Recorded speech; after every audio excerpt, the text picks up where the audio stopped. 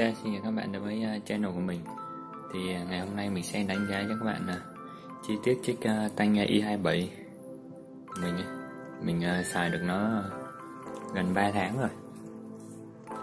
Thì Hôm nay mình sẽ chia sẻ cho các bạn uh, ưu nhược điểm của nó nhé. Thì uh, đầu tiên là về uh, ngoại hình này. Thì uh, ngoại hình của nó giống hệt AirPods nha các bạn.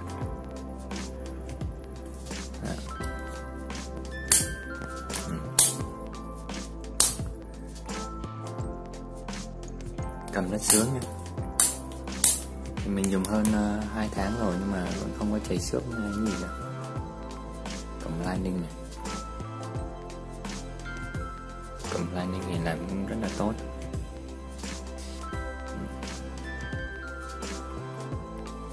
Đây các bạn xem hoàn thiện đó.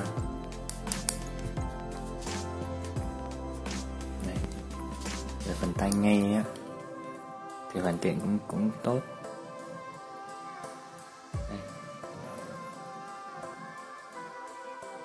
Tuy nhiên là cái màng loa thì làm không ờ, được bằng ờ, nhưng mà vẫn tốt không ờ, lệch. Tai nghe và lượng pin cũng rất tốt mình nghe mấy ngày nó mới hết pin được Đây, hai tay còn con này là i7 là có sạc không dây nha bạn. Con của mình là có cả sạc không dây luôn để tối ra cầm không khá nhẹ AirPods kìa. Đây các bạn nghe. Phần bản lề làm khá chắc chắn.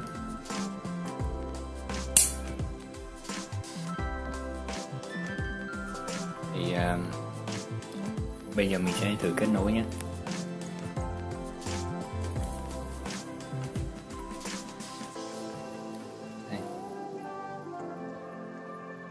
Mẹ bốn tún lên kết nối này đó, các bạn xem. Thời lượng pin ờ, hiển thị ở đây là thời lượng pin hiển thị đây là chính xác nha các bạn.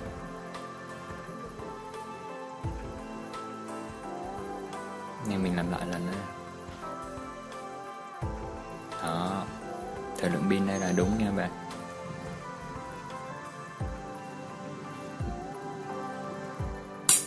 Lại lần nữa này.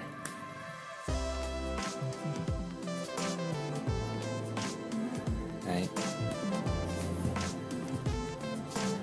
Kết nối luôn. Đây kết nối nha. Đó. về phần tai nghe á, thì mình ờ, mình chưa ưng lắm là đó là biến đây nó nhạy quá các bạn. Khi mà đây nó nhạy lắm. Khi mà mình nằm á nằm à, gắn tay nghe á, mà mình nằm nghiêng á là hay bị chạm với phần cảm ứng ở đây này. Nên nó rất là khó chịu. Khó chịu phần đó đó hay bị như vậy á. Lúc mà mình nằm á nằm cái tay mình à, dính vào đây này.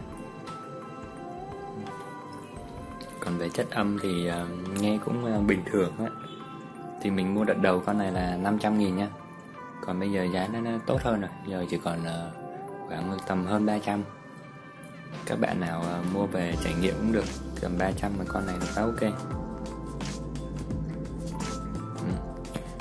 về chất âm thì um, con này là không không có bát mấy. Âm bass nó là ít nhá còn uh, nếu mà các bạn đi ngoài đường á thì bật phải bật mắt mắc âm lượng lên thì mới nghe được. Ngoài đường ổn á còn trong nhà thì ok. Về phần âm lượng của nó. Mình chỉ không thích cái chỗ cảm biến nó nhạy quá. Ừ, nằm phát nằm dính tay là các bạn à, nằm nghiêng là rất là khó chịu nha. Đây phần tai nghe hoàn thiện cũng rất tốt.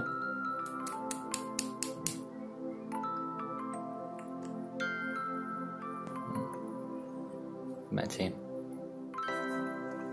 Con này nó rất là ok nha các bạn. Còn uh, link mua thì mình sẽ để phần bên dưới nha. Mình xài uh, hơn 2 tháng rồi nhưng mà vẫn chưa thấy lỗi lỗi là mình cả. Các bạn xài mà bị lỗi gì thì uh, bình luận phía bên dưới để mình biết nha Đấy.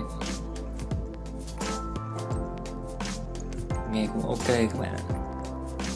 Còn bây giờ các mẫu tai nghe mới khác thì nâng cấp hơn thì giá nó đắt hơn rồi. Các bạn lựa chọn. Thì sau đây mình à, thử khả năng đẹp thoại với kết nối của nó luôn nha Đấy, giờ mình sẽ bật ghi âm. Rồi mình đi ra khỏi phòng. Các bạn uh, nghe và tự đánh giá cái uh, âm thanh của nó nhé Đây. rồi mình đang gắn nhân tay rồi. Giờ mình sẽ bật ghi âm này. Đó. Giờ mình đang thử ghi âm này. Lại các bạn alo giờ mình sẽ thử đi ra ra khỏi phòng của mình nhé đi qua một cánh cửa luôn xem khả năng kết nối của nó nhé các bạn nghe và uh, bình luận xem chất lượng của nó ở dưới cho mình nhé đây. Giờ mình đi ra khỏi cửa. Này. mình đang ở ngoài uh, cánh cửa mình đi xuống tầng. Nhà mình mình à, đang đi ở bên phòng đối diện nha. Không biết là có kết nối được không? Thường thì uh, vẫn kết nối như các bạn để các bạn xem. Ok.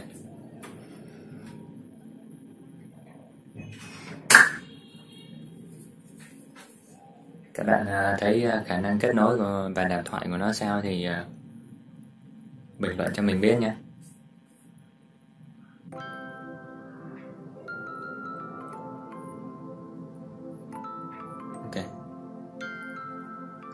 Đấy thì uh, đây là cái chia sẻ của mình uh, về cái tai nghe i27 sau uh, một uh, hơn uh, 2 tháng mình sử dụng gần 3 tháng.